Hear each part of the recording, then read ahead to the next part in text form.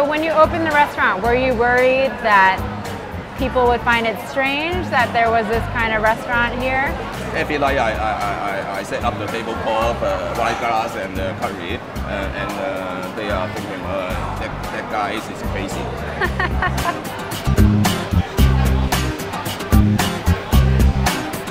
At the beginning, I just focused on the lunch. We only have a set lunch is A set, B set, and C set. Very simple. Yeah. Now, now it's uh, so, uh, many foreigner loads about ABC, and the dinner time is okay lah. Yeah.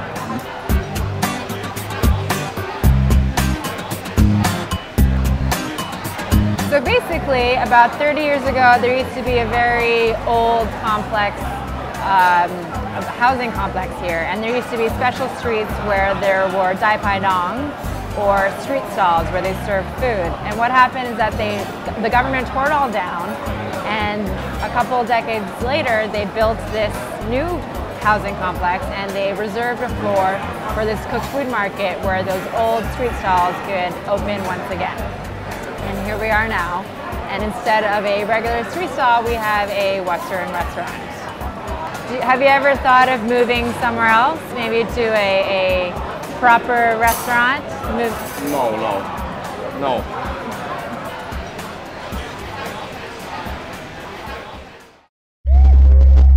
Coconuts TV.